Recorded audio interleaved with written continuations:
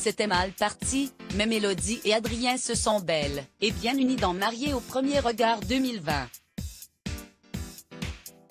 La jeune femme était toutefois plutôt distante avec le beau brun et a fait appel à Pascal de Sutter pour quelques conseils.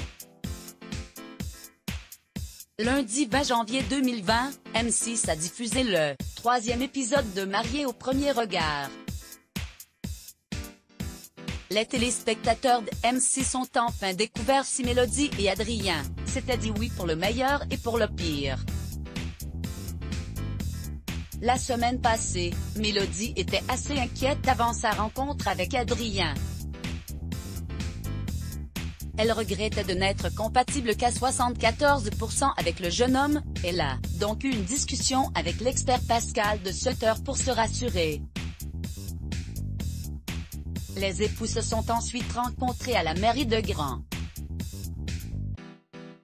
Si le beau brun de 31 ans, qui est conseiller financier, a été séduit au premier regard, cela n'a pas été le cas de la gestionnaire de carrière de 29 ans. Au moment où je me retrouve face à lui, ça n'a pas été le gros coup de cœur. Je constate qu'Adrien ne correspond pas aux critères physiques de mon futur mari. Point. Donc je suis dans un moment d'hésitation, a-t-elle notamment confié. Après plusieurs secondes, elle a finalement accepté de poursuivre l'aventure en sa compagnie et l'a embrassé sur la joue avant d'échanger les alliances. Mélodie et Adrien ont ensuite fait un peu connaissance, dans la voiture qui les emmenait au shooting. Très vite, la belle brune l'a interrogé sur son caractère et n'a pas été déçu des réponses. Il réussit à me faire sourire et à de la répartie.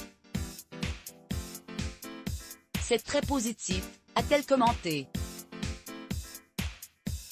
Elle n'était néanmoins pas tout à fait à l'aise lors de la séance photo quand il fallait se rapprocher. Est ensuite venu le moment de retrouver leurs proches pour la grande soirée. La jeune femme a immédiatement remarqué que son papa n'était pas très bavard avec sa nouvelle belle famille. Elle a été quelque peu rassurée en entendant le beau discours d'Adrien, qui n'a pas manqué d'avoir un petit mot pour ses proches. Le souci Elle ne lui a pas dit qu'elle l'avait apprécié, de quoi le refroidir un peu.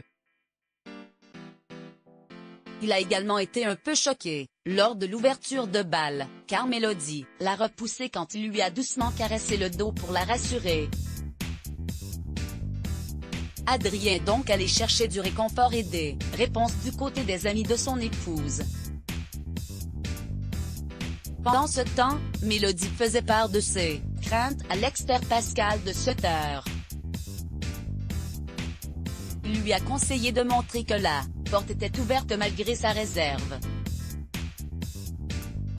Elle a donc appliqué directement son conseil, et ce n'est pas passé inaperçu.